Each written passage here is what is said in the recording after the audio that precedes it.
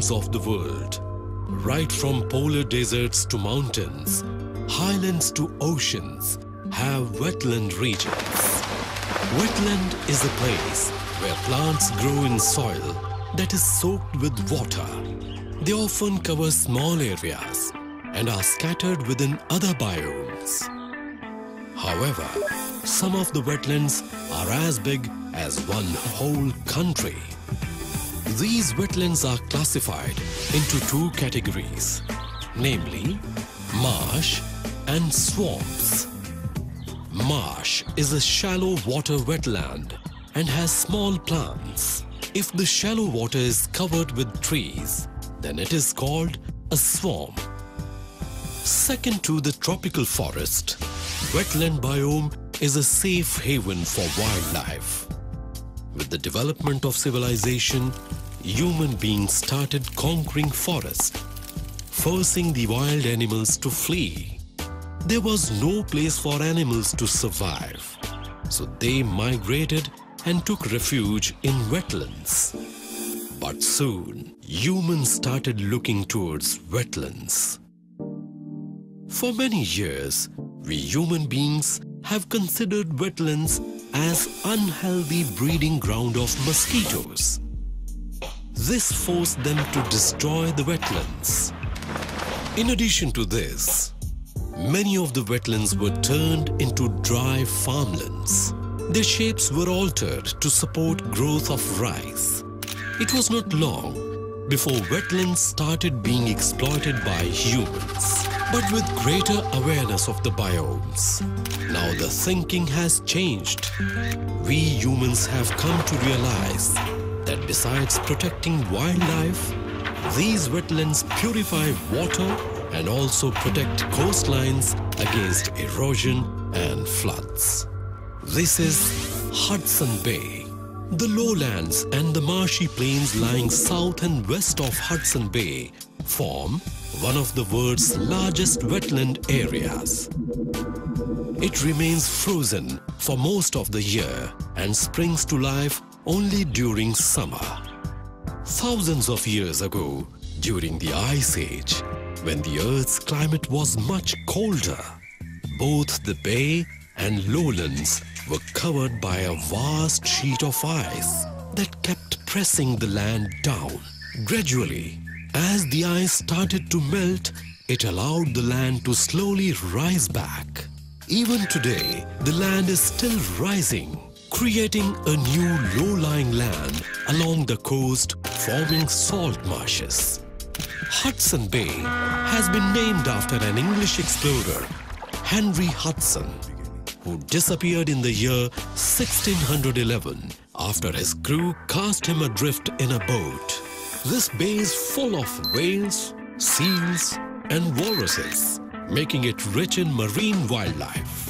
More than 99% of Hudson Bay lowlands are an unspoilt wilderness. Many migratory birds and polar bears, along with black bear, wolves, caribous, and moose can be found in the forests surrounding this place.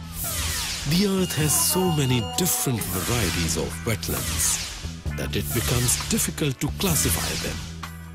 The reason for this great variety is the forces like the movement of earth, weather, and flowing water that perform together in different ways. Many of the wetlands are low-lying areas where water gets collected. This low-lying land is formed due to many reasons.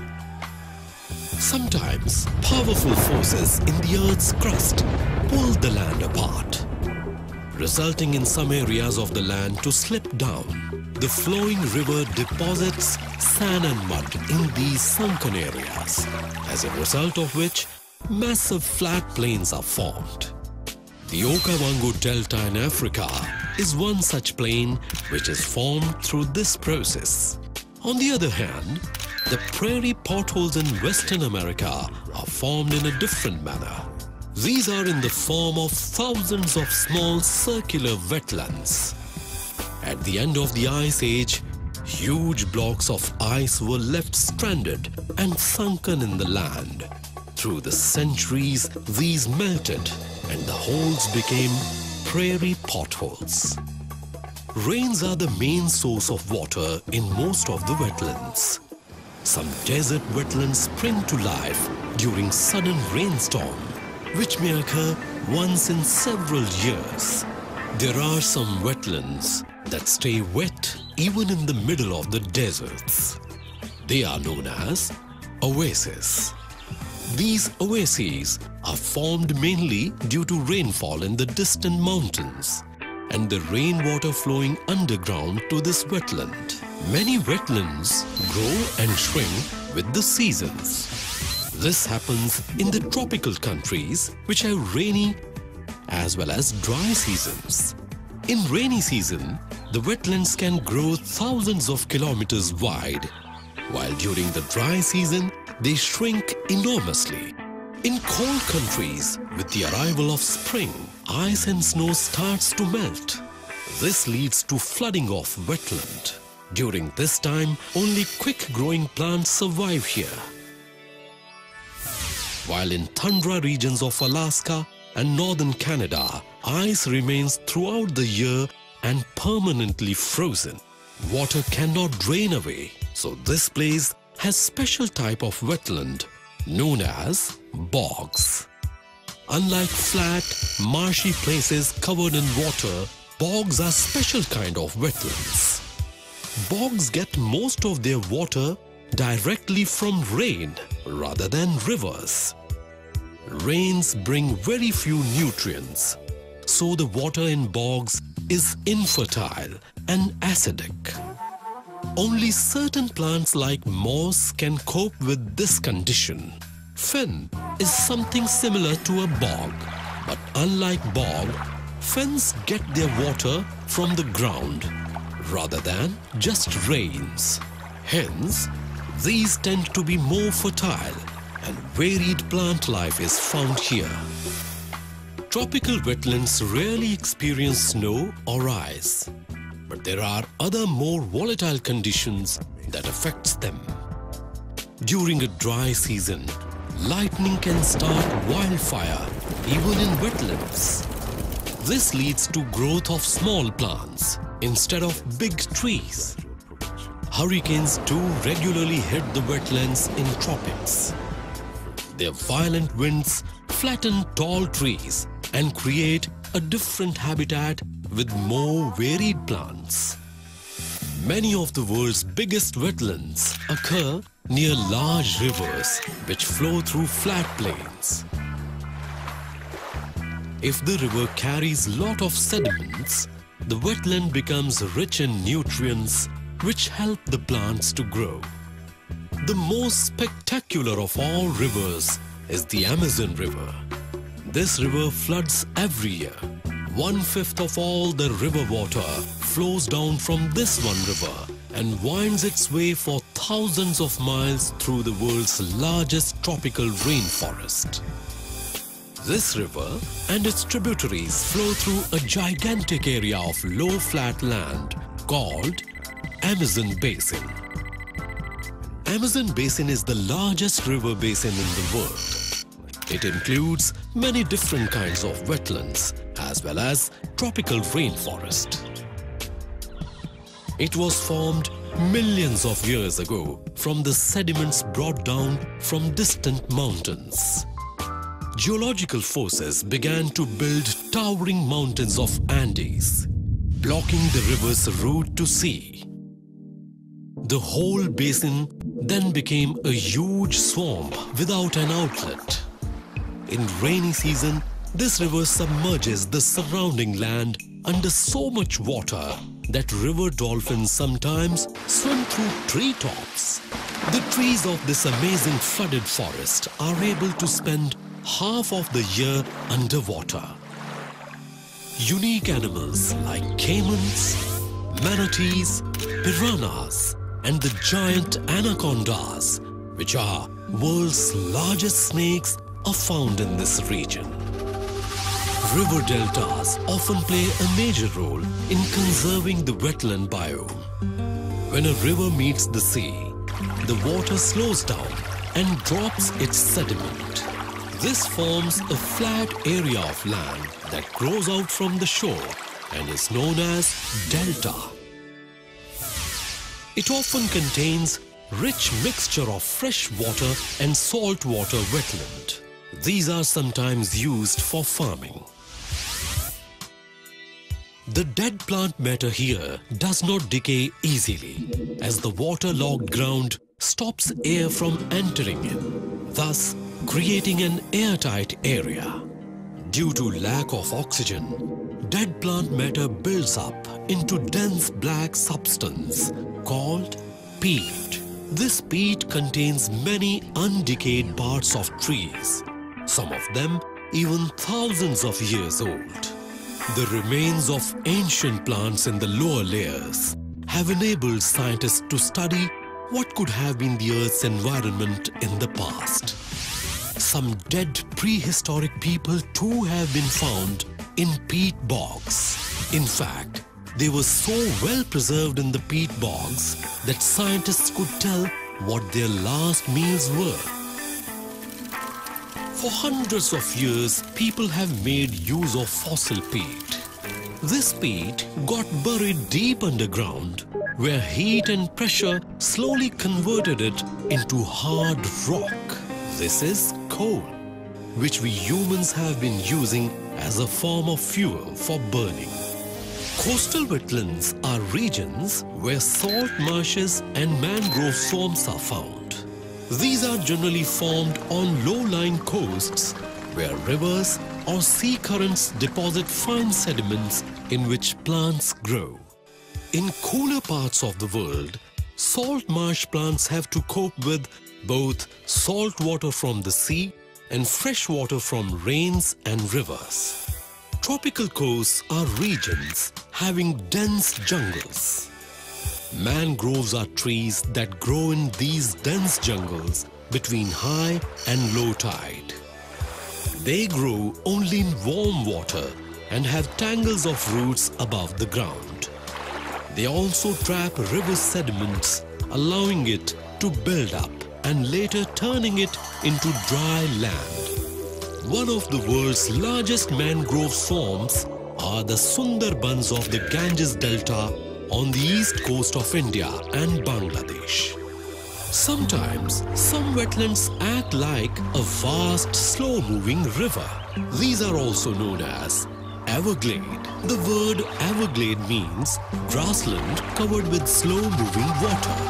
The Florida Everglades is famous for such grass-filled rivers.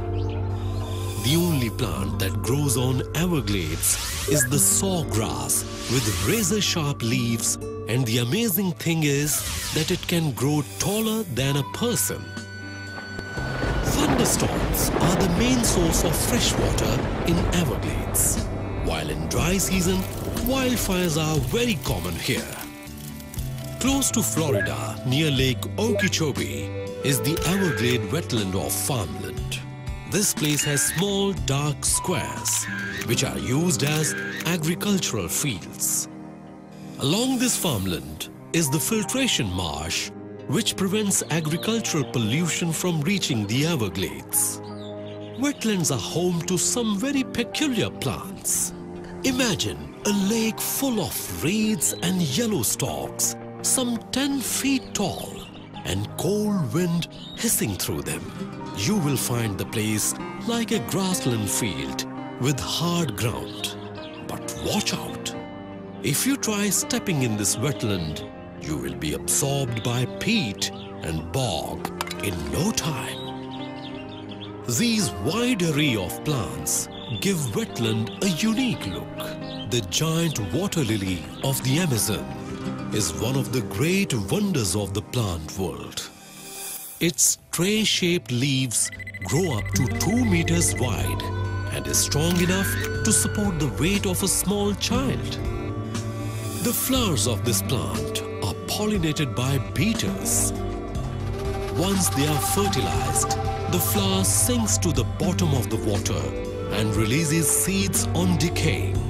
These seeds then float away in the water before sinking again and growing into new plants. It is believed that all wetland plants evolved out of dry land and gradually they got adapted to life in water. Water lilies, for example, probably evolved from land plants around 100 million years ago. These plants had enough time to adapt to water. Plants also have to cope with soggy or flooded habitat. These are bogs, which are cold and have few nutrients. The plants here are small and low growing, like sphagnum moss. Many plants like reeds and sedges are emergents. That is, they have their roots and stems underwater but leaves above water. In some wetlands, floodwaters can raise living plants to form enormous floating meadows.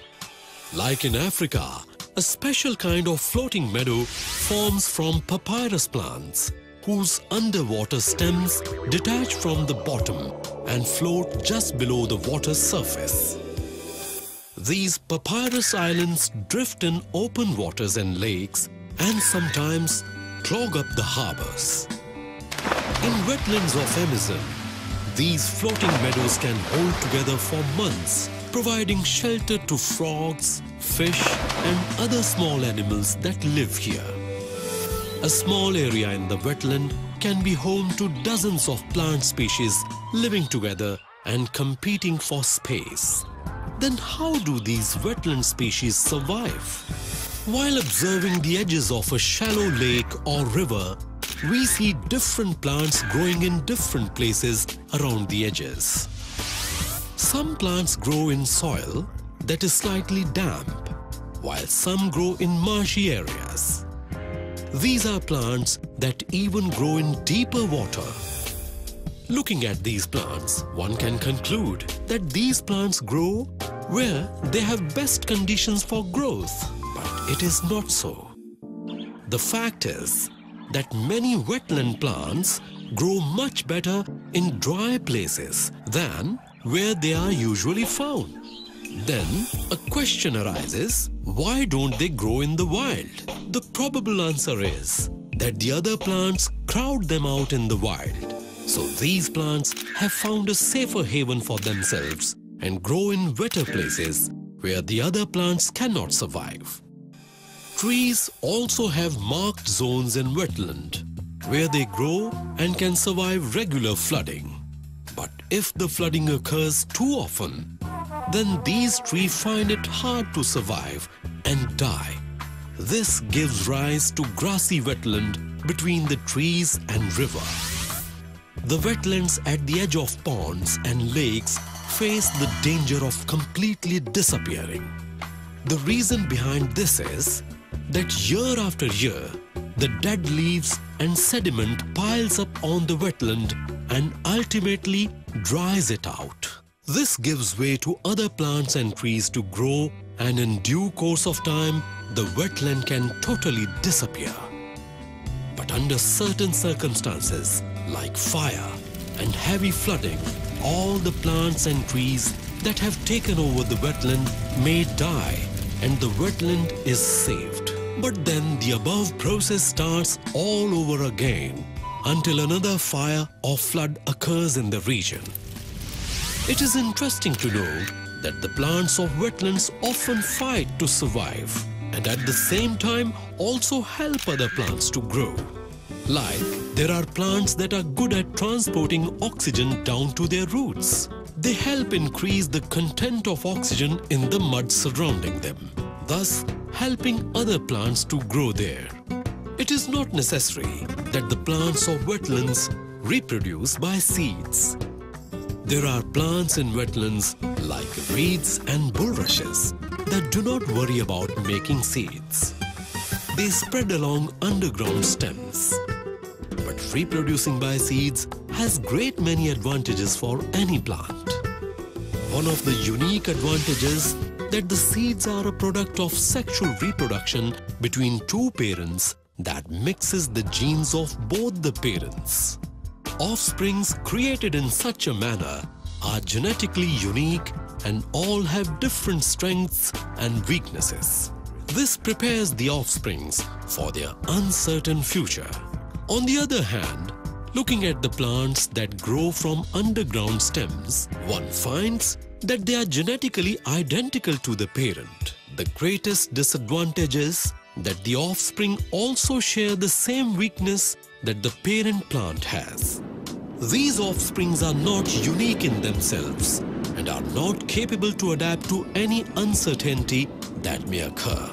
The other advantage of a seed is that it helps a plant to spread to long distances. Like the bulrushes produce thousands of light, fluffy seeds that blow for miles in wind. Birds also play a great role in spreading the seeds of wetland plants to far-off places. The sticky seeds of grass-like plants called rushes stick to the feet of the birds or their feathers and travel to far-off places along with the birds. Many plants, like water lilies, have fruits or seeds containing air spaces or drops of oil. This allows them to float in water and cover long distances. The mangrove trees have a variety of their own tricks for their offsprings to flourish. There are mangrove trees that produce seeds that sprout while it is still attached to its parent. Such plants are called viviparous. These young plants grow several feet long before they fall on the ground or in the water below. If the young plant falls on the mud, it gets anchored by its spear-shaped roots. If they fall in water, they float away and take root later on. The cannonball mangrove uses a trick in which its football-sized fruit explodes when ripe and scatters the seed in every possible direction. In addition to these seeds, wetland mud is home to thousands of seeds waiting underground for favorable conditions to start growing. These seeds in reserve have been given the name seed banks by the scientists. These seeds can wait patiently for hundreds of years before they start growing. In a cluster of plants growing in wetlands, there are plants that eat animals. Just like carnivorous animals, there are carnivorous plants. But the interesting fact is that they don't eat flesh to obtain energy, but to fulfill their need for nutrients. It is interesting to know how these carnivorous plants originated. Most of these plants live in boggy area and the waterlogged soil contains very little nutrients. But insects have in them the nutrients missing from the soil and needed by the plants. So these plants eat insects to supplement their need of nutrients and survive when other plants would perish due to lack of nutrients. There are a variety of traps that these carnivorous plants use to capture their victims. Pitcher plants have cup-shaped leaves that partially fill with water during rains. These plants lure the insects with a sweet-smelling nectar. As the insect comes close, it falls off the slippery surface. The slippery walls and backward-pointing hairs stop it from escaping. The victim drowns and the plant digests it. North American wetlands have widespread pitcher plants, but the largest pitcher plants are found in Southeast Asia. These large plants trap lizards as well as frogs and digest them. Sundew plant uses a different technique. The small leaves of sundew plant are covered with hairs and each hair is tipped with a sticky drop of digestive juice. As soon as the fly sticks to one of the hairs, all the hairs gradually bend over the insect and trap it. Then the plant easily digests the trapped insect. Bladderworts are floating plants whose underwater leaves grow tiny cup-shaped chambers, also known as bladders. If any tiny aquatic animal bumps into the bladder, a trap door opens and the victim is sucked inside. Then the trap door shuts over it, locking the little species. Venus flytrap is the most remarkable carnivorous plant found in Carolinas in USA. People here grow this insect killer as a house plant to get rid of the insects of their house. The plants growing in salt marshes have a lot to contend with. They have to face not only flooding regularly, but also cope with water supply that is sometimes salty and sometimes fresh.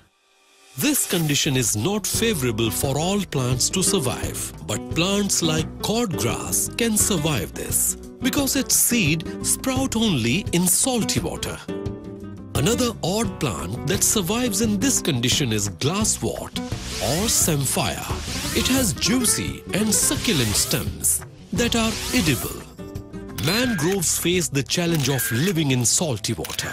Their roots are capable of filtering the salt out of the seawater, but some quantity of salt still gets inside the plant.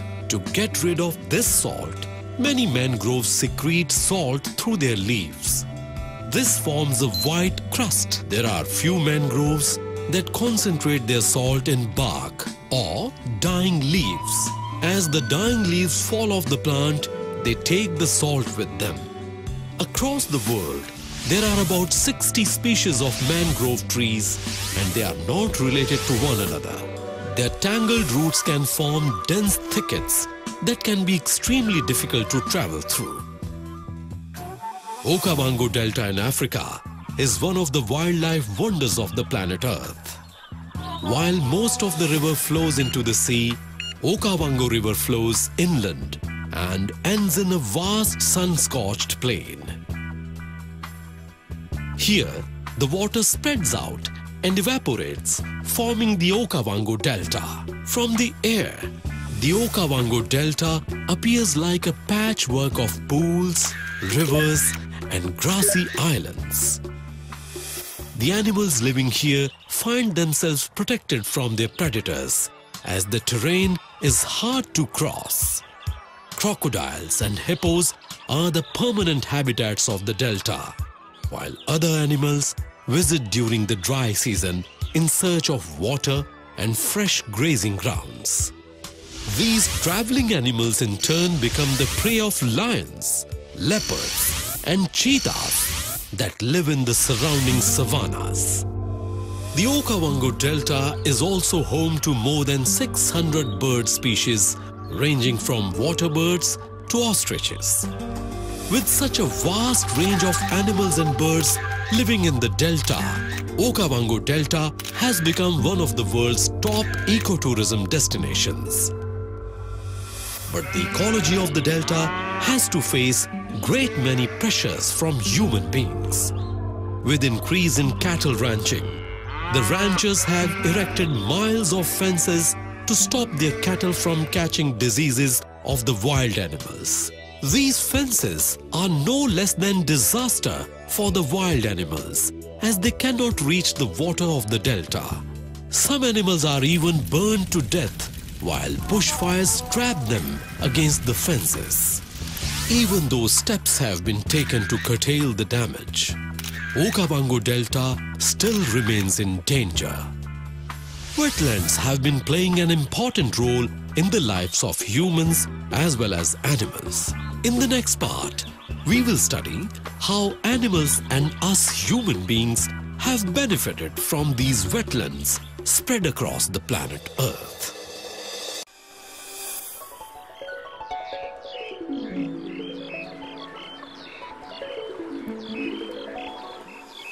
The depths of Congo rainforest in Africa have enclosed inside them some of the little known wetland areas that are home to one of the Earth's finest wildlife sites.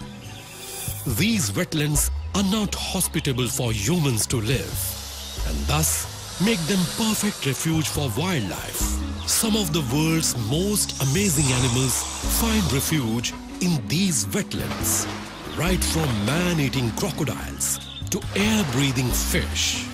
What makes these marshy clearings special is that they act as meeting point for the various secretive animals living in the wetlands.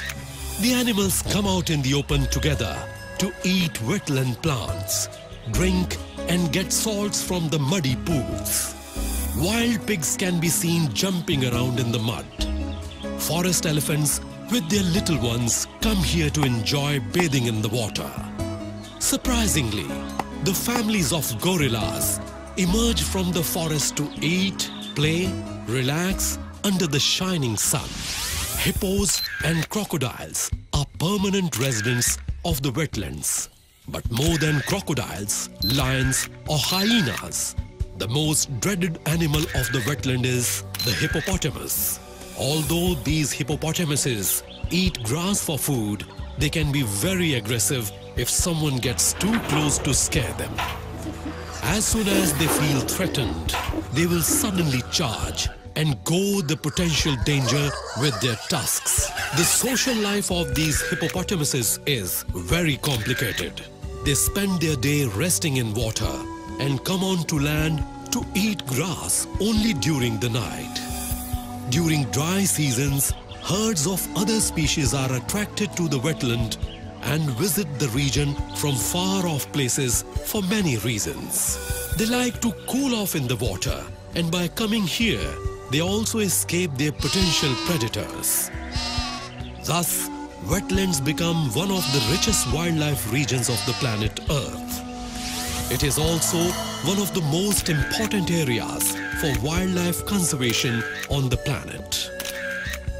In spite of this, the wetland animals living here are faced with challenge of survival. Food and shelter are the major concerns for them and at the same time, they should also protect themselves from their predators so that they can produce their next generation of species. Just as any other biome, wetlands too have their own food chain with dead plants forming the base of the wetland food chain.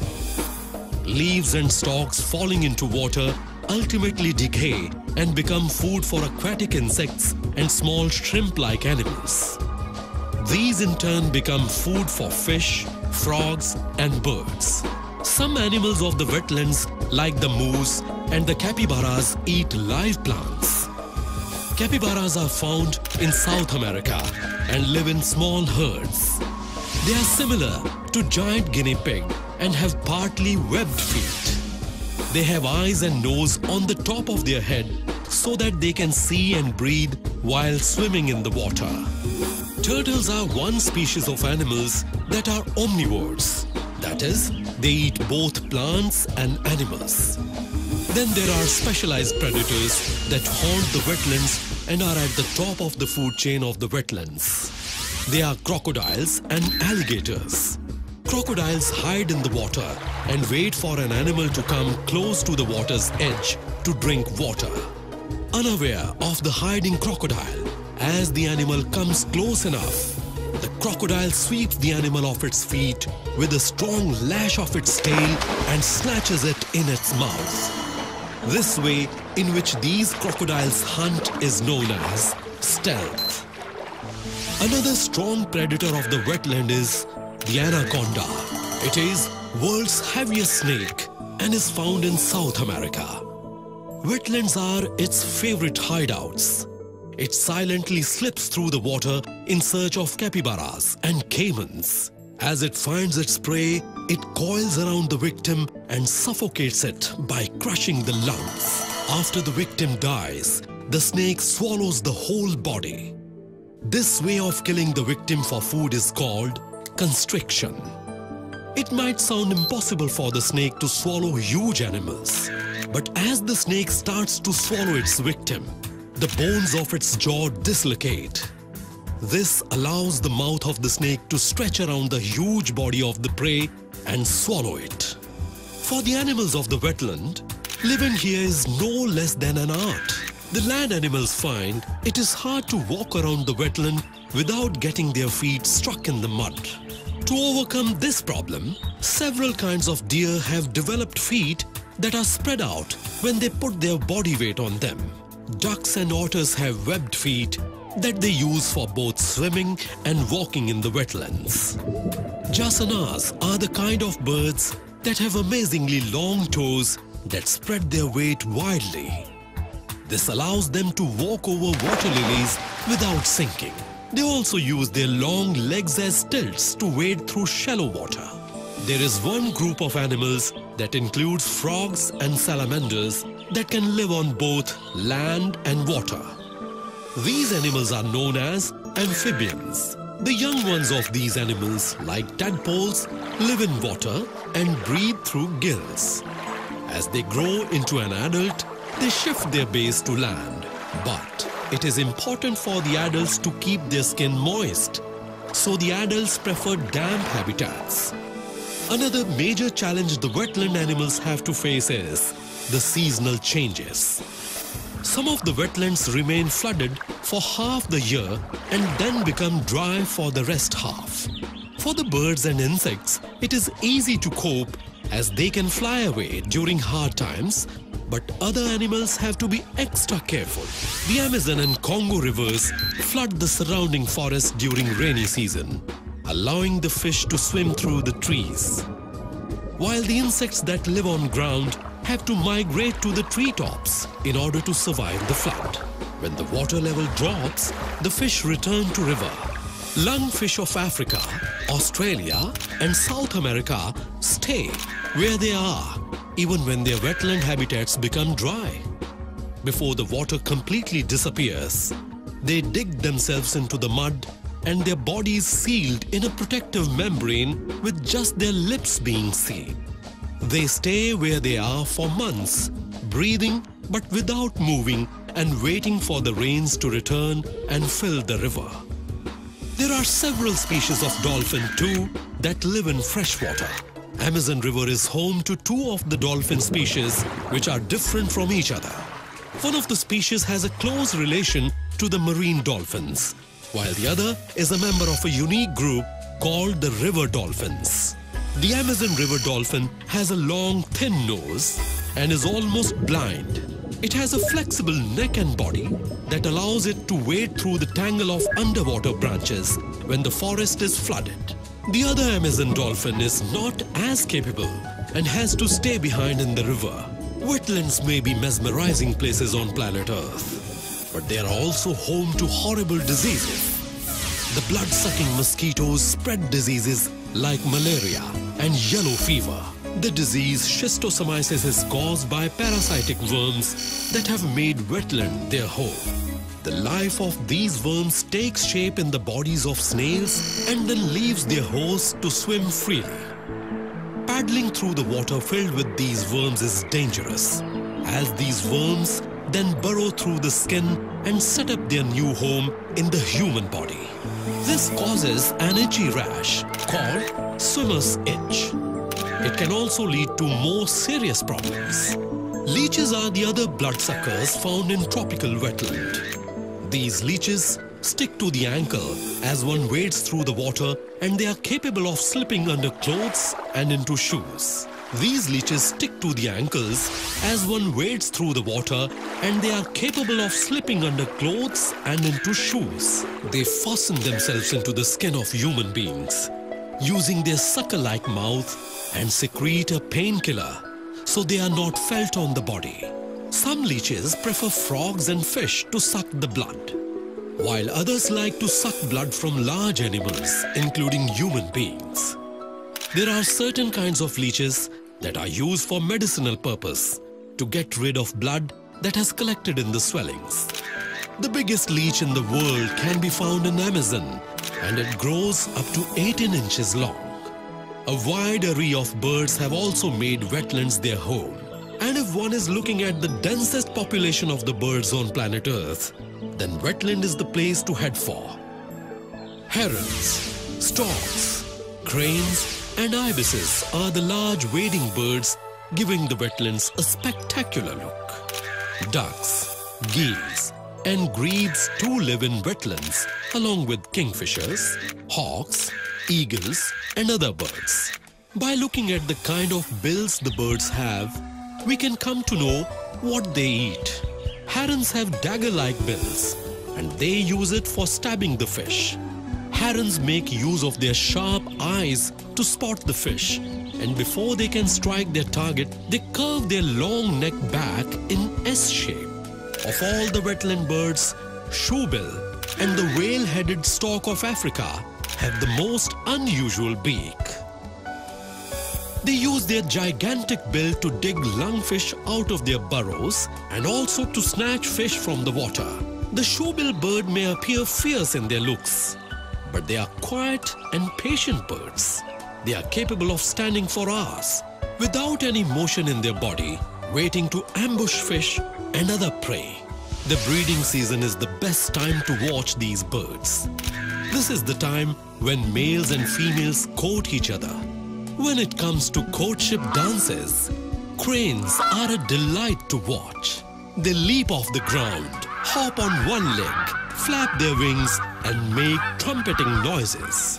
These birds prefer the wetlands because of one major benefit, and that is wetlands have the advantage of being a safe haven for their little ones. Mangrove swamps have become true forests and are a unique habitat for many land-dwelling forest creatures. As we have seen in the first part, the leaves that are dropped from the trees of the mangrove play an important role in the ecology of the swamp and form the base of food chain that support animals. Two families of small crabs have specialized in living in mangrove swamps across the world in huge numbers. These are the fiddler crabs and the grapsids. During high tides, these crabs dig burrows and stay inside to avoid predatory fish. As low tide comes, the fiddler crabs sift through the mud for food, while the grapsids search for dead mangrove leaves which they store and eat. Both families of crabs have the capability to survive out of water for a while, but it is necessary that they return to their burrows from time to time to keep their gills moist. Male fiddler crabs have one claw bigger than the other that serves two purposes. One, it sends signal to other male crabs that they are prepared to defend their burrows. And secondly, it uses the claw to attract their mate. Mangrove swamps are also home to odd-looking frog-faced fish called the mudskipper. These mudskippers move around out of water by flicking their tails to hop along the mud and also by levering themselves along their front fins in a slow walk. To avoid larger fish, these mud skippers often climb on a mangrove root as they have the advantage of breathing through their moist skin as well as through gills. Some species of mud skipper hunt prey, while others sift through mud for food. Mangroves across the world have a variety of large animals living in them.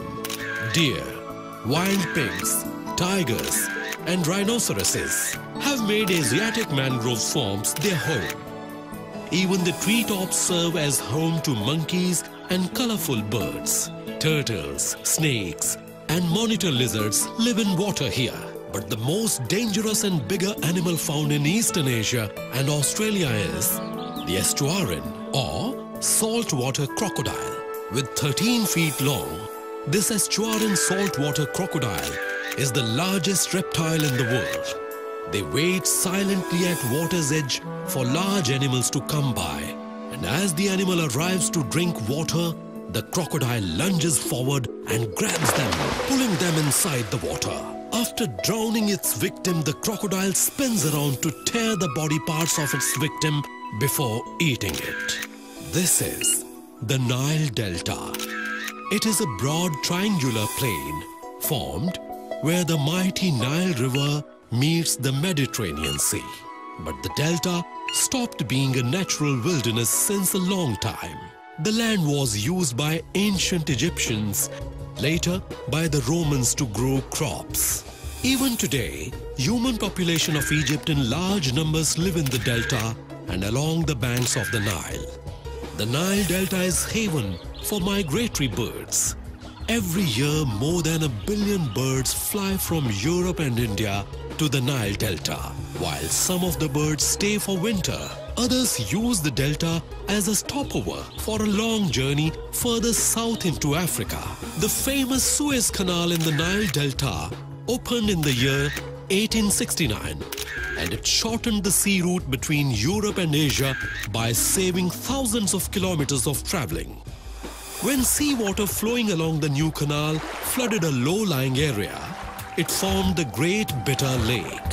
Cairo, the capital of Egypt, lies at the base of the Triangle of the Delta and has been the largest city in Africa for centuries.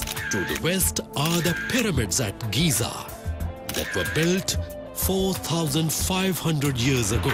Throughout the history of mankind, wetlands have played an important role in the lives of humans as well as wildlife. It is important to learn more and more about the wetlands in order to realize its importance and ensure its safety. For the hunters, wetland has been their favorite hunting ground and they have often visited these wetlands to take advantage of the abundance of fish, birds and animals that habitat these wetlands. During the dry season, early cattle herders led their herds to wetland areas in search of green grass. Over the years, most of these people have developed ways of surviving here and have become wetland specialists beautifully, making maximum use of whatever the area has to offer. People in the fens of eastern England and the Netherlands developed what came to be known as wetland cultures. Hunters floated wooden ducks on the water to fool real ducks so that they came within catching range. This same trick was also used by the ancient Egyptians. While people in crafts business used reeds for making baskets, roofing material and other related items, the people used flat-bottomed boats to move around the shallow wetland waters, maneuvering the boats using long poles. Some 5,000 years ago, the wetlands of southern Iraq served as a home to a certain group of people called the Marsh Arabs or Ma'dan. These people live on islands in the marshes constructed with reeds. They use the reeds to build elegant canoes and beautiful arched houses. The Marsh Arabs had a varied occupation involving hunting and fishing along with growing rice and keeping herds of water buffalo tethered to their islands. They enjoyed a unique lifestyle for many, many years. But unfortunately, this unique lifestyle is disappearing at a very fast rate. Wetlands played an important role in development of farming and people have been growing crops here around 10,000 years ago. Then they shifted to the river floodplains and farming spread and developed in ancient China and other places. Very often, farming can change a wetland to such an extent that it ceases to be a wetland.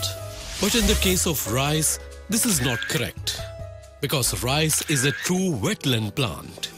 Farmers plant it in flooded fields called paddies. These paddies are surrounded by low banks to keep the water trapped.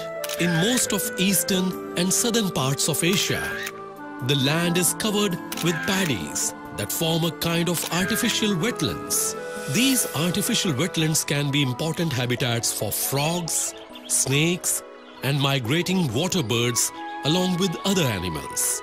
These artificial wetlands have also been used by farmers to stock fish. In the past, wetlands were thought to be wastelands and unhealthy places infested with mosquitoes and leeches. So humans kept away from them. But in recent centuries, people began to destroy wetlands on a large scale for wood. They have also started using the land for shrimp farming. People have also damaged wetlands by allowing polluted water to enter them. Damaging the wetland not only makes the plants and animals to suffer, we humans too deprive ourselves of the benefits that wetlands provide us naturally. The major benefit being protection from floods. In the absence of wetlands, we are at a risk of catastrophic floods. Flooding of rivers is a natural process and rivers that flood regularly have wetlands surrounding them. But when we humans try to control the flood, we in turn destroy the wetlands. It is interesting to know how wetlands control floods. The wetlands have the capacity to absorb water and by absorbing water, they can stop a large flood from creating havoc. While upstream wetlands can soak up heavy rain, thus not allowing the water to enter the river. On the floodplains, wetland provides space for flood water to spill out. In a similar manner, the wetlands in the coast can protect against flooding from the sea and reduce wearing away of the land, also known as erosion. The tangled roots of mangrove trees plays an important role in controlling the flooding. These roots are good at absorbing the energy of storm waves. In the absence of these trees, the storm waves would wash ashore and do great damage. Wetlands also serve as water purifier. When water passes through a wetland, it comes out purer than before. Fertilizers mixed in water can be easily removed by the wetland plants or by the bacteria that lives amongst the roots of these trees, thus purifying the water. Some wetlands, like bogs, have the capacity to hold on to chemicals called heavy metals and thus preventing them from getting into drinking water.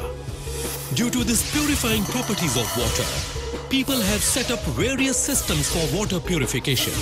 In many countries, sewage water is purified using bed of reeds. Another system is to use wetlands containing water hyacinth plants to purify water polluted by heavy metals. The plants absorb these toxic chemicals and are later scooped out of the wetland and thrown away. Wetlands have many more added advantages that can serve the human race across the globe. Like, by trapping heavy rains, wetlands give water time to percolate into the ground and fill up underground water stores. Peat bogs help reduce global warming by removing carbon dioxide gas from the air. Wetlands provide natural beauty to the surroundings and this natural beauty of the wetland landscapes and wildlife can be enjoyed by ecotourists, thus providing jobs to the local people and helping the local economy to flourish. For scientists, wetlands and bogs are a storehouse for historical records. By digging into them, the scientists can find the evidence of the types of Earth's plants and climate that existed thousands of years ago. The world's largest river delta is formed where the Brahmaputra and Ganges rivers of Asia flow into the Bay of Bengal. The area where the delta meets the sea is a vast mangrove forest known as the Sundarbans. The Sundarbans is spread across a total area of approximately 10,000 square kilometers and is home to the largest population of tigers. The local variety of the tiger is given the name Royal Bengal Tiger. These Royal Bengal tiger not only hunt wild boar for food but also humans. It is estimated that in the late 1970s, tigers killed around 45 people every year in the Sundarbans. The local people going to the forest pray to their god and goddesses to protect them from the tigers. They use various devices to save themselves from the tigers. When moving through the forest, they wear human face masks behind their heads to scare off the predator. Electrified human dummies are also left behind in order to prevent the tigers from attacking humans. Other than these tigers, the other rare species of the cat family found here are fishing cats and jungle cats. Mongoose and the monkeys have also made the Sundarbans their home. The nearest major city to Sundarbans is Calcutta, now known as Kolkata. The wetlands are waterlogged and the mangrove trees grow in waterlogged mud. The roots of these trees get little air. This shortfall is compensated by vertical roots that work like snorkels. These roots grow upwards from the ground. The roots have small holes called lenticels, which let air enter the hollows inside the root, thus allowing the air to circulate deep underground. Even though wetlands have a life of their own, they are under threat by humans. Although many countries have realized its importance and are going all out to protect and restore them, yet the damage is continuously being done. Hunting of animals for their skin is one of the most common threat that the wetland faces. Wetlands are also continuously being drained so that they can be converted into farmlands. Sometimes it so happens that plants not belonging to the wetlands escape into it and make wetlands their home. they grow to such an extent that they start crowding the natural plant life.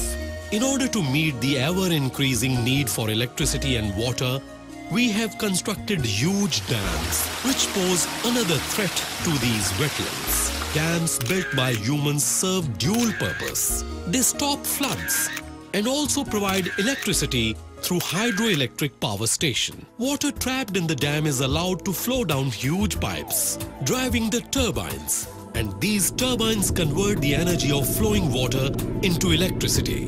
Due to these hydroelectric dams, the wetlands are deprived of water, causing damage and destroying them. In some parts of the world, water is a precious resource and the countries involved can go to the extent of war to control the water of the rivers. Global warming is caused by greenhouse gases that build in the atmosphere and trap the sun's heat. Because of this, many wetlands near the coast may end up drowning under the sea. Rice paddies might be responsible for making global warming even worse. When the dead plants rot, they release methane gas, which again is a greenhouse gas. Many countries have taken the initiative and have come together to manage their wetlands. In 1971, scientists and officials from all over the world held a conference in the town of Ramsar in Iran to discuss the future of wetlands.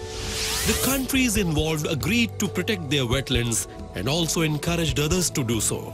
Each new country that signs up has to nominate a minimum of one wetland area that it will protect. In USA, they have developed a policy of no net loss.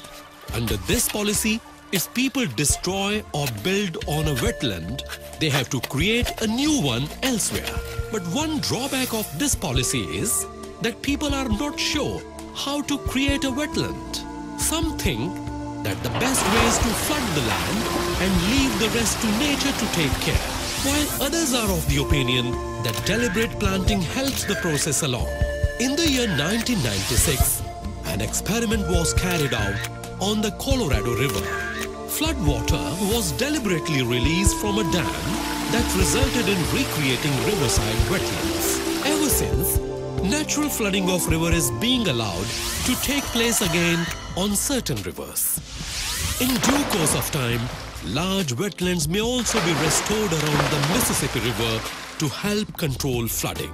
These steps taken by human beings are a positive step towards conserving wetlands of the world. We now understand the wetlands and know how they work. We are also aware of the consequences that we will face if we try to interfere with them. Today, no developed country can build a dam without stopping to think the damage it might cause to the environment. But many people think of their present needs and do not look at the future consequences.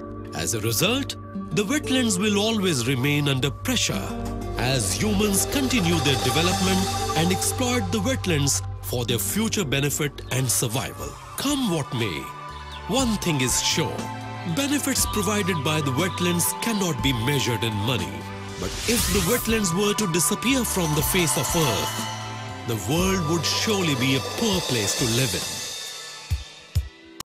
Shrublands across the world is a biome that mainly consists of shrubs. Shrubs are tougher than trees and occupy the space in between the plants.